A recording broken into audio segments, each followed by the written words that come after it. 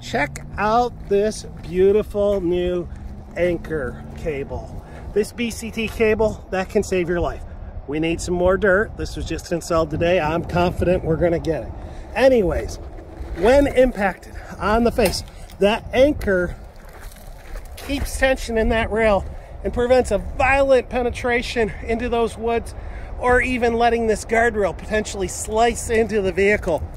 If you don't think that can happen, take a look at the story I did last week with Channel 12 in Phoenix. There was a violent rail penetration where the person was maimed.